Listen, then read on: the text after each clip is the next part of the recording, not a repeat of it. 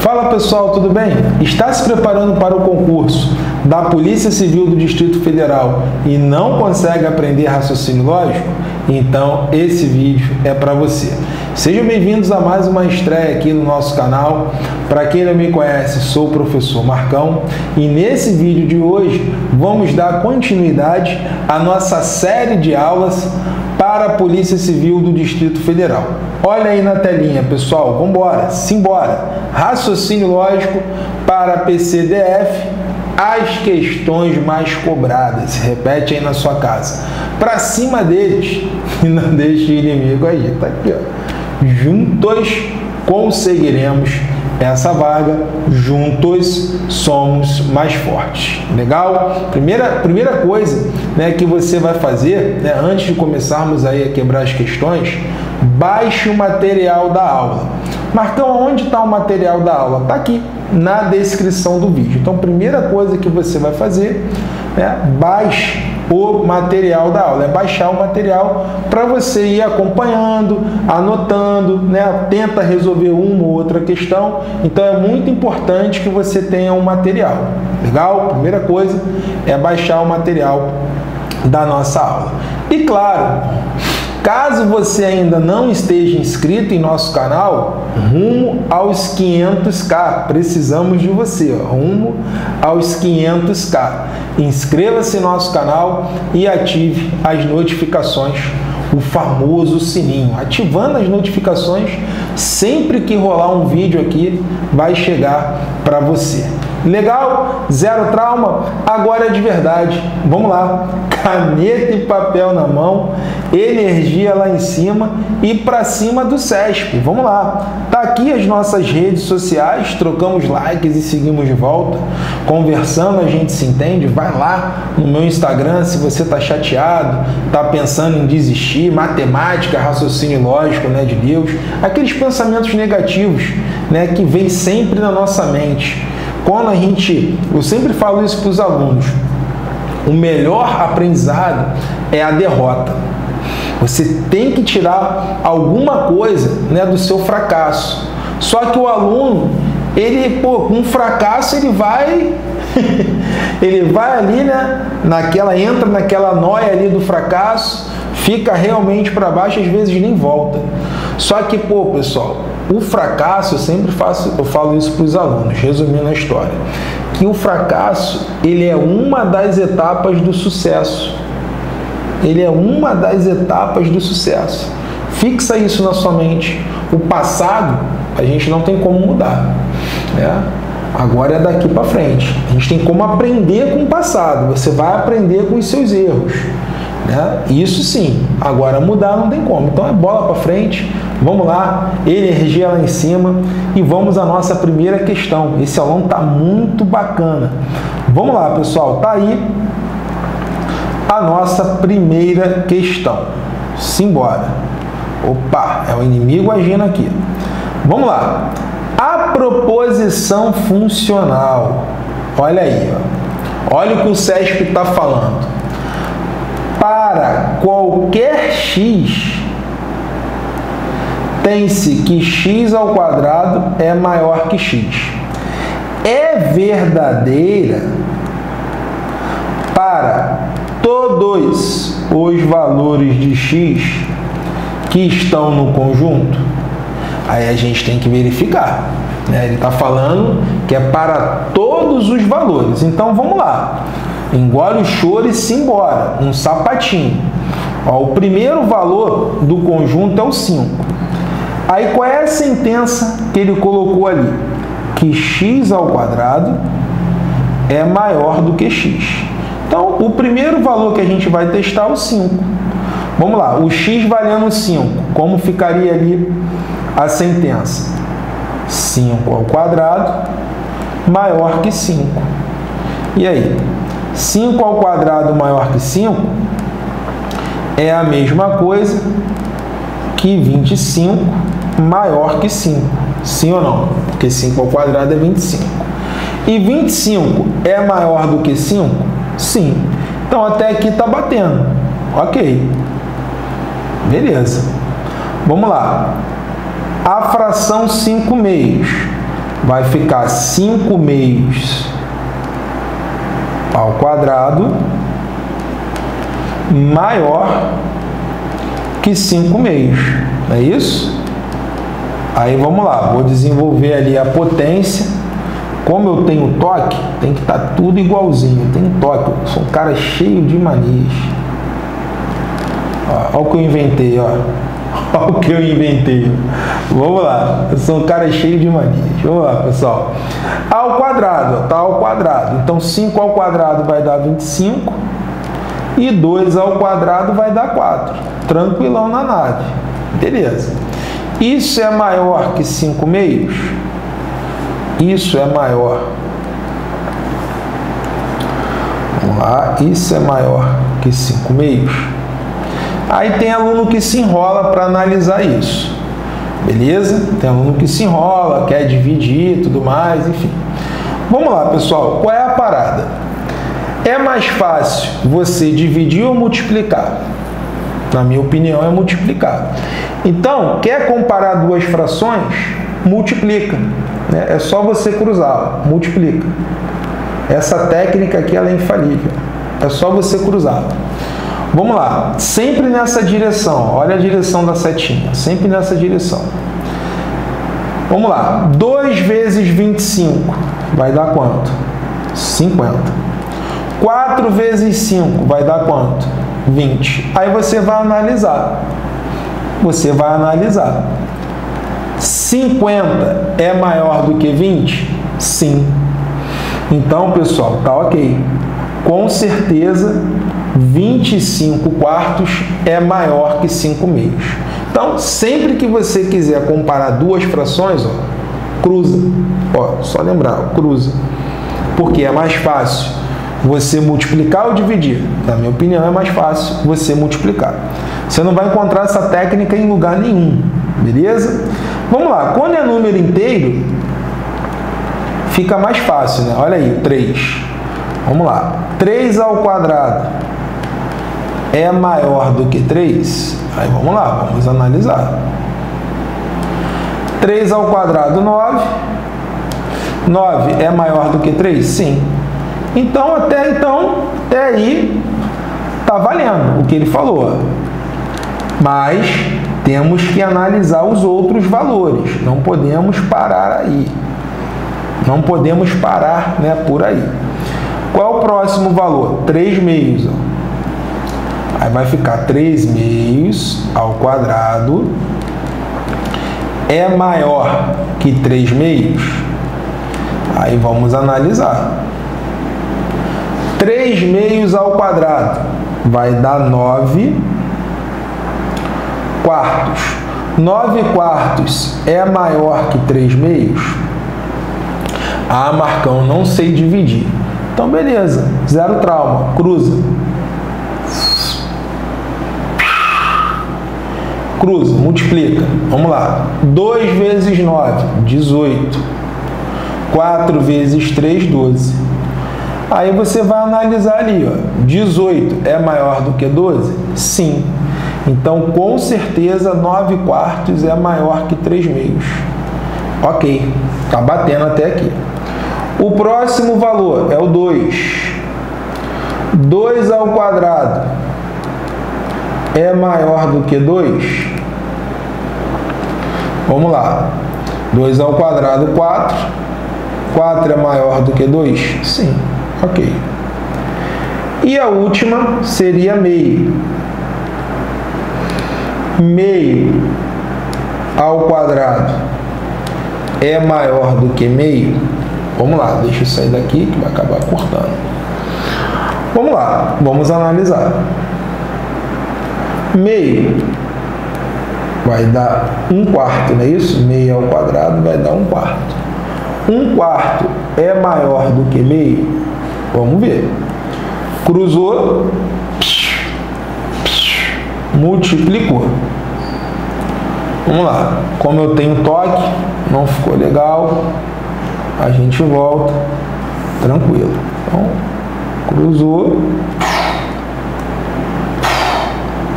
multiplicou. 2 vezes 1 um vai dar 2.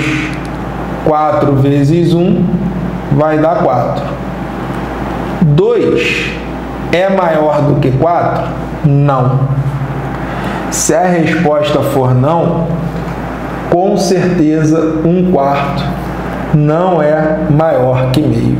Então, pessoal, essa, né, essa sentença, ela é verdadeira para todos os valores de x?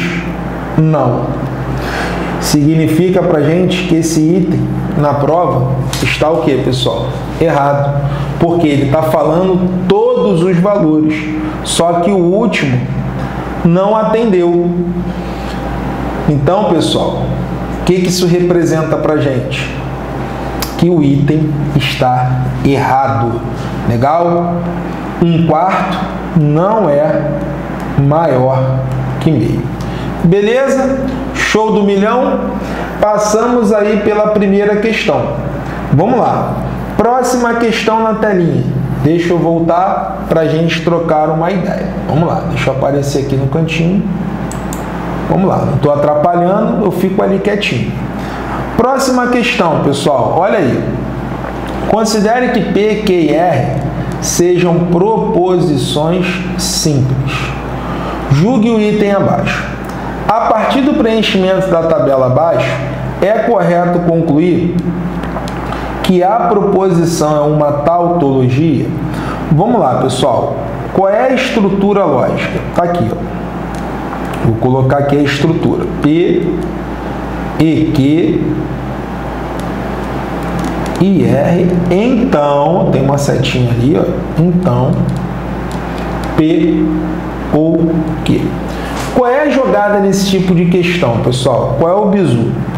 Antes de você meter a mão ali e preencher a tabela toda, vamos fazer um teste.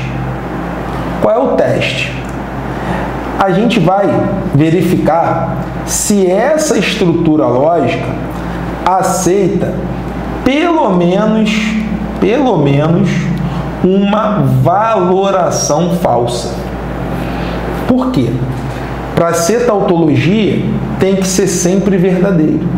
Então a gente vai fazer esse teste, a gente vai verificar. Por quê? Se a estrutura aceitar a valoração falsa, já sabemos que o item está errado. Né? Se ela aceitar pelo menos uma falsa, já sabemos que o item está errado. Agora, se ao analisarmos a estrutura e acontecer algum erro, né, nos depararmos ali com alguma incoerência e a estrutura não aceitar a valoração falsa, significa que ela é sempre verdadeira. Porque se ela não é falsa, com certeza ela é sempre verdadeira. E se ela é sempre verdadeira, em outras palavras, ela é uma tautologia. Então, pega a visão, porque isso aqui vai te levar para um outro nível. Isso aqui você só aprende com a gente no Matemática para Passar. Legal? Então vamos lá. Primeira coisa, pessoal, coloca aí no bate-papo, eu quero a sua participação. Vamos lá, eu vou te dar poderes. Vem comigo, vamos lá. Qual é o único caso no C então, ó, setinha é o C então. Qual é o único caso no C então que dá falso? Coloca aí no bate-papo para início de conversa. Qual é o único caso no C então que dá falso? Coloca aí. Vamos lá.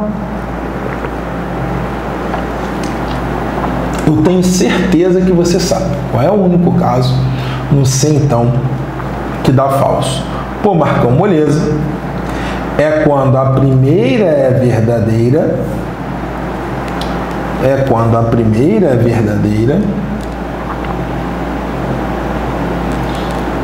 e a segunda é falsa. Lindo.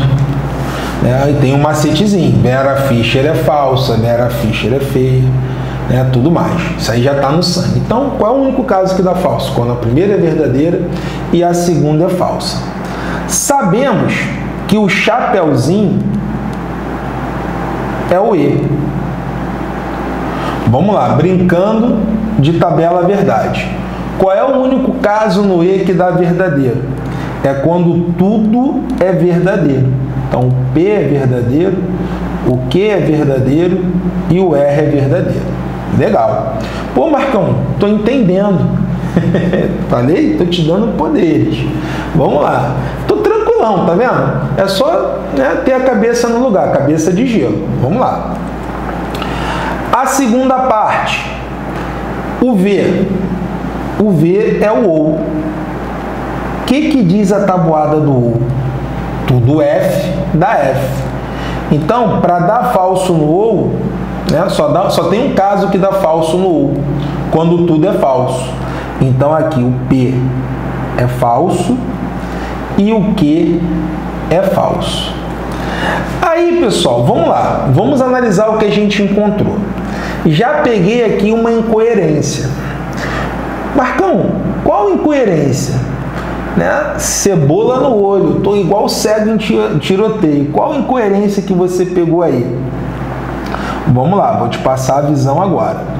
A incoerência, pessoal, tá aqui, ó. Nenhuma proposição pode ser verdadeira e falsa ao mesmo tempo.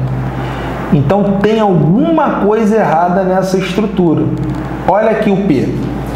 O P, ele é verdadeiro e falso. Olha o que?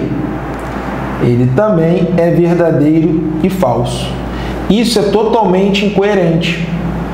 Então, pessoal, se gerou ali uma incoerência, com certeza essa proposição ela nunca pode ser falsa. Se ela nunca pode ser falsa, qual é a conclusão que nós chegamos?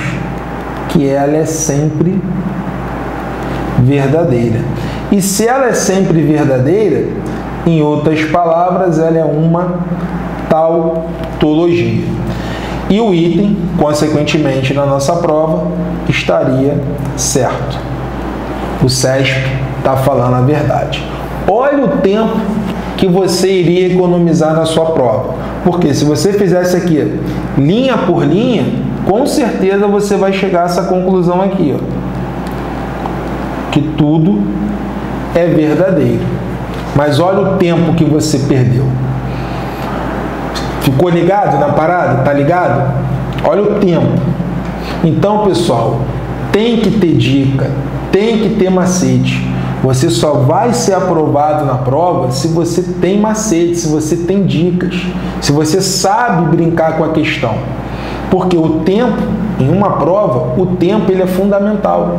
Porque você não tem só raciocínio lógico, você não tem só matemática, você tem outras matérias. Por isso que o método MPP, ele aprova, né? Ele bota né, os alunos literalmente de cara para o É só você anotar. Basta apenas você anotar e seguir o método. Legal? Gostaram aí dessa questão? Gostaram dessa dica? Então é isso aí, pessoal. Da tabela verdade, passamos para a equivalência. Vamos lá. Tá aqui o probleminha. Próxima questão. Vamos lá, para cima do SESP. Se a proposição é verdadeira, então a proposição também é verdadeira? Marcão, qual é a pergunta? Tô perdidão no bairro. Vamos lá, pessoal. Caneta e papel na mão. Anota aí o que eu vou falar. Se é verdadeiro e continua verdadeiro, o probleminha é de equivalência.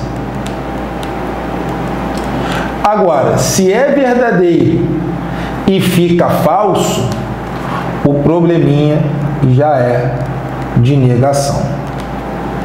Simples assim. Legal? Sem trocar ideia, anota aí porque isso é importante. Se é verdadeiro e continua verdadeiro, probleminha de equivalência. Se é verdadeiro e vira falso, o probleminha é de negação. Por que, Marcão? Porque Deus quis, cara, Ele quer o seu bem.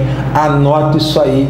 Para de trocar ideia com a questão, de ficar de querer, querer, corococó. Por isso que você não passa. Você quer ficar debatendo, anota. E apenas siga o método. Verdadeiro. Continuou verdadeiro? Equivalência. Verdadeiro. virou falso ou vice-versa, probleminha é de negação. Como aqui o verdadeiro continua verdadeiro, né? Verdadeiro, verdadeiro. Então o probleminha é de quê? De equivalência. Aí, pessoal, ficou fácil. Equivalência lógica da condicional. Aí já está no sangue. Qual é o bizu para negar a condicional, pessoal? Vamos lá. Qual é o macete? Qual é o bizu para negar a condicional? Nega tudo inverte. Mantenha-se então na frase, estou até complementando para ficar mais bonito. Mantenha-se então na frase, nega tudo ó, e inverte. Legal? Então, pessoal, vamos lá, seguindo aqui a regrinha. Nega tudo nega tudo e inverte.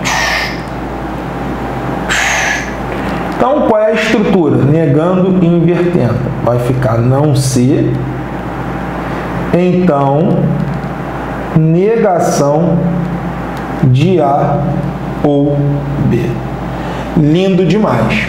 Só que agora, cabeça de gelo. Vamos comparar com o que o CESP está falando. A gente sempre tem que verificar o que o CESP está falando para saber se está certo ou errado. Então vamos lá. Comparando com o que o CESP colocou, é a mesma estrutura? Sim. Se é a mesma estrutura lógica, pessoal, o item está certo. Legal? E aí, pessoal, vocês estão gostando aí da aula, das dicas, dos macetes? Tá vendo como é importante você seguir o método MPP. Com certeza, se você seguir o método MPP, anotar tudo bonitinho que a gente fala aqui nas aulas, na prova você vai arrebentar. Você vai ficar de cara pro gol. Eu tenho certeza. Mas como é que você tem a certeza? Por causa disso aqui, pessoal. Por causa do depoimento da nossa amiga Ana Paula. Pessoal, esses relatos nós precisamos compartilhar com vocês. É rapidex, né? minutinhos da sua atenção. Por quê? Isso mostra, pessoal, que estamos realmente no caminho certo. E é a prova real de que o método MPP muda a história da vida das pessoas. Então, vamos lá, Rapidex, olha o depoimento. Olá, professores queridos. Iniciei meus estudos para concursos e percebi a minha deficiência em matemática e RLM. Legal, importante. Ela já, já detectou ali que ela tem uma deficiência. Devido ao ensino, devido ao péssimo ensino que tive no ensino médio, e graças ao canal do MPP, melhorei 90%. E o mais importante, olha a mudança, a transformação. Errei apenas uma questão no meu último concurso. Isso para mim foi incrível. Tenho imensa gratidão e respeito pelo trabalho de vocês. Vocês são um sucesso e que Deus nos impulsiona a alcançar o sucesso também. Obrigada, Ana Paula Gonçalves da Luz. Então, pessoal, isso aí não tem palavras. E isso é diariamente. É só você entrar lá no nosso site que você vai ver os depoimentos. Isso pode acontecer com você? Pô, com certeza. Basta você tomar uma atitude. E claro, acreditar que é possível. Às vezes o aluno chega lá no meu Instagram, ah, Marcão, será que eu consigo? Pô, será que matemática é para mim? Não, não entra na. Cara, pensamento positivo, vai dar certo. Você vai conseguir, bota isso na tua cabeça. Pensamento negativo atrai coisas negativas. Isso aí desde que mundo é mundo. Né? Então, cara, positividade. Esse ano pô, tem vários concursos aí e com certeza uma vaga é sua. Legal? Vamos voltar para a nossa aulinha? Isso aí é para relaxar um pouquinho, né, descontrair. Mas tem mais um probleminha aqui, ó. Não vai embora não, tá aqui, ó. Esse probleminha de argumentação é um assunto que com certeza vai estar tá na sua prova. Tô ali no cantinho, não tô atrapalhando. Vamos lá. P1, P2, P3, P4 e C. O que, que significa isso? Premissas e a última, com certeza, o C é de que, Marcão? De conclusão. Então, uma coisa que você já vai fazer, né, de cara, sem ler o que o SESP está falando. Para você analisar o argumento, você sempre vai separar as premissas da conclusão. Então já está ali bonitinho, já separei. Agora vamos olhar o que o SESP está falando. Considere que o argumento apresentado acima, em que P1 e P2 são premissas, e C é a conclusão. Legal, a gente já sabe disso. Julgue o item subsequente. O argumento apresentado é válido? Aí a gente vai verificar isso. Como é que a gente vai verificar isso daí? Utilizando o método das premissas verdadeiras. Se a verdade garantir a verdade, o argumento é válido. Caso contrário, o argumento será inválido. Beleza? Então vamos lá. Método das premissas verdadeiras. Então, primeiro passo, eu vou considerar que todas as premissas são que verdadeiras. E vou analisar se a verdade vai garantir a verdade. Vamos lá.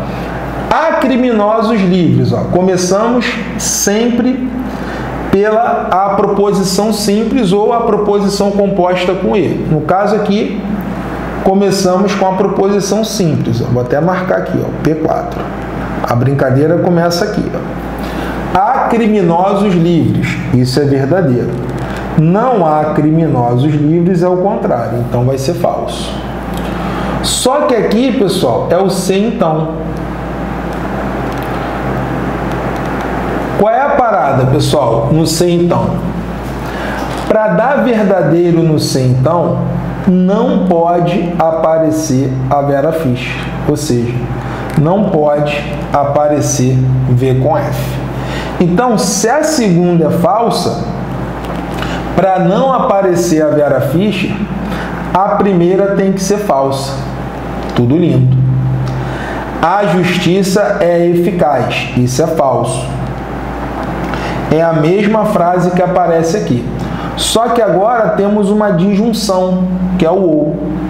No ou, para dar verdadeiro, tem que ter pelo menos um verdadeiro. Então, se o segundo é falso, obrigatoriamente a primeira parte tem que ser verdadeira. Lindo demais.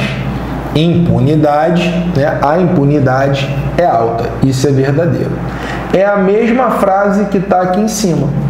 Aí segue a análise, só que aqui é o sem então. De novo é o sem então. No sem então não pode aparecer a Vera Fischer. Se a primeira é verdadeira, para não aparecer a Vera Fischer, a segunda tem que ser verdadeira. E assim, pessoal, fechamos a análise do argumento. Agora vamos verificar se a verdade garante a verdade. Porque a conclusão é sempre uma consequência das premissas. Então o resultado vai estar lá no argumento. Ó, qual é o resultado que ele está dando aqui para gente?